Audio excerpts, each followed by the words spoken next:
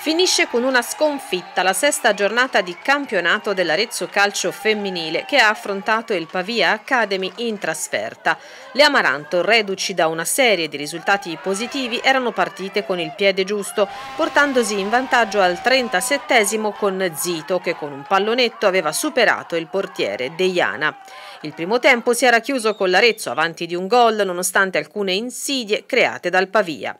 Nella ripresa il Pavia Academy ha ribaltato il risultato. Al 48esimo Alborghetti, sola davanti alla porta, ha segnato il gol del pareggio. Appena 4 minuti dopo, al 52esimo, De Maio ha trovato il raddoppio, portando il risultato sul 2-1. Nonostante diversi tentativi da parte delle ragazze dell'Arezzo Calcio femminile, quest'ultime non sono riuscite a raddrizzare l'incontro e così si è concluso con i tre punti che ha portato a casa il Pavia Academy.